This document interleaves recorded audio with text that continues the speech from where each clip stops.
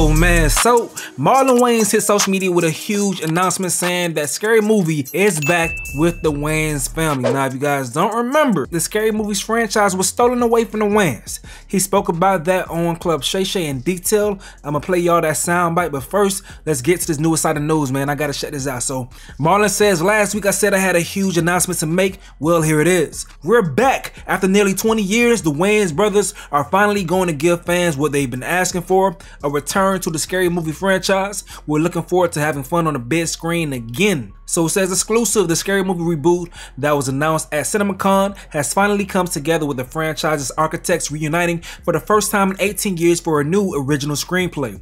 The earlier series, a send up of slashers like Scream and I Know What You Did Last Summer, the new scary movie will shoot next year for a theatrical release. The Wayans and Rick Alvarez are writing and producing the movie. So the Scary Movie film franchise was developed by Marlon Wayans, Shawn Wayans, and Keenen Ivory Wayans.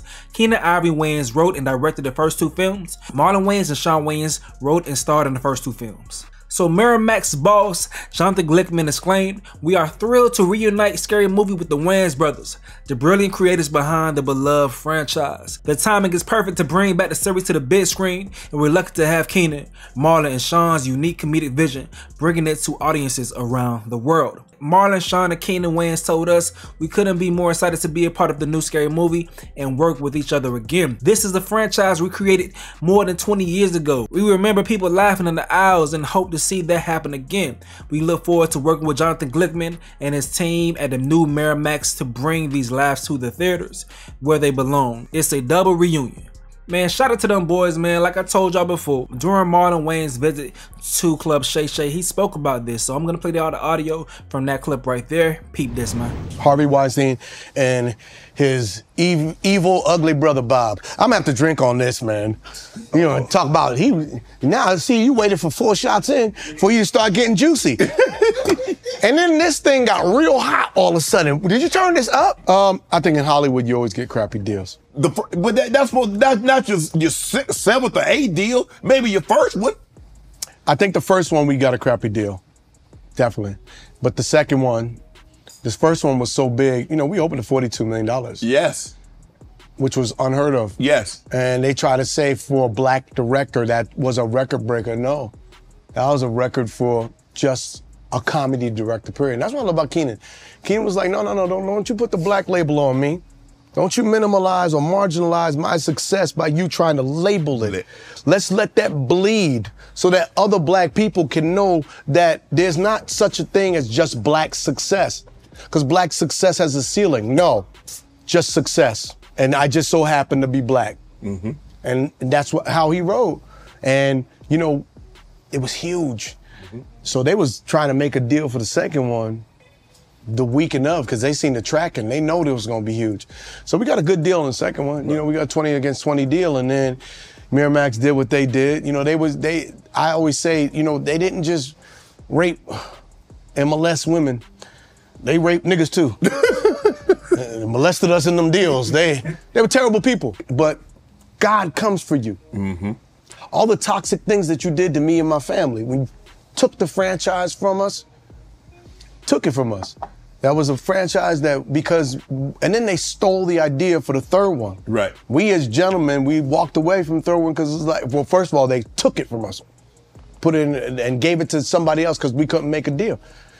So they gave it to somebody else, and they didn't tell us. They read about it in the papers. We was like, okay, cool. So then that crapped out because I'm gonna tell you something. You can try. You can try. You can't do Wayans shit without the Wayans. Yeah. You can try, but eventually you're gonna lose a lot of money. Cause what we do is special. We have 200 years of comedy between me, Shawn, and Keenen. Damon, Kim, we have a lot of years of right. excellence of what we do. You can't just put anybody on to, oh, well, they're gonna just do it. You can't do what we do. Right. You can do a version. And so they did the third one, took the idea, we pitched them. Because we, we came to the table, we said, all right, if you want to do this, we're going we're gonna get a 30 against $30 million deal. Because you made this much money on the first one, you made that much money on the second one, we're going to get 30 against 30. All right? Okay, bet. We come in, Keenen has the meeting, pitches his idea. They go, we love it. We're gonna make an offer. They make an offer for what we made on the first one. But hold on, we, you you just said we're gonna okay. You you got us on the second first one. Mm-hmm. We did okay, twenty for twenty on the second one. We're gonna do thirty for thirty. Ain't no offer to be made. You already told us what we gonna get on the third one. Mm-hmm. How you gonna make an offer? Yeah, you feel that outrageous feeling that you feel? Yeah, That's what we felt. Times three. so we was like, you know what? No. You we told you what it was. You're not playing gentlemanly. So we went and pitched that movie and we pitched White Chicks to five other places. Everybody bid. So then they come and go, okay, we're gonna come over the top and we're gonna pay you, I think it was like a 20 against 20 deal, whatever. And but we- you got that on the second one. 22 against 22. And we No. Was, we was like, no. Here's what we're gonna do. We're gonna go do this movie with Joe Roth and Revolution. And they took the idea, and I was like, oh, fuck you. So they took the idea, they hired the Zucker brothers, and they brought them on to do Scary Movie 3 based on the idea that we told them. Now, you got that one off. Part four didn't do as well. Because now, You ain't got you ain't got the Marlins. Your fir- you ain't got the Williams idea. yeah, but first one you could uh, you could fool the audience. They see Anna, they see Regina, they're like, oh, okay. And then they get to like, hey, whoa, whoa, whoa, this, this, this don't. I like Regina and and I love Kevin, I love Anthony, I do, but this don't taste like Wayans. Then you do the fourth one, diminishing returns. Then you do the fifth one, and the fifth one, I was doing haunted house at the time. I showed haunted house to them because I was looking for distribution. They were trying to buy it and shelve it, but they tried to take the ideas that I had in Haunted House and apply it to Scary Movie 5. But you don't know the formula. So they offered, we said no. I took it to, uh, uh, uh, what was the name? Open Road. And we got, uh, what was the name of uh, another company to give us the marketing budget, End game, And I made that movie for a million and a half dollars. It opened to $19 million, which is huge. Yeah. Went on to make $70 million worldwide. Scary Movie 5 or 6, whatever it was, it died. And they spent a lot of money to make that movie. Now, that money that you spent making that movie, you could have saved you some money and made some money. And you could have recouped the money that you spent making the All you gotta do is pay the professionals that do it. And I'm not asking you for anything that's crazy. I'm just asking for you to respect what the craft is and Right. what we know how to do. I wanna all make money together. And then, but God is everywhere, Mm-hmm. right? So we didn't retaliate. We did nothing with it like this. You didn't file no lawsuit like he did. We should have. We should have. We didn't. Go like this. All good. We go on, made our money. White chicks made another classic. This little man made another classic. We do our thing. right. Fast forward to, you know, sometimes you ain't gotta do nothing. Cause God's gonna do it all. let him have it. God's revenge. When God comes for you, you gotta trust God. You don't retaliate. Vengeance is mine. They took Miramax, this company Miramax. Mm-hmm. Disney took it. Then they had the Weinstein Co. And then all this stuff started going down with the rape allegations and they took that Snap company that. too. And now your brother's in jail and you ain't in the business. I didn't have to do nothing. Right.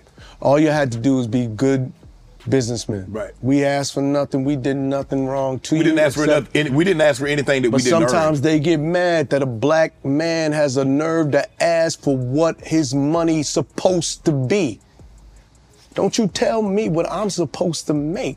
This is what my value is. And if you want that, then you're gonna have to pay me what I'm worth. And if not, hey man, I'ma I keep it moving. I ain't I ain't got no beef.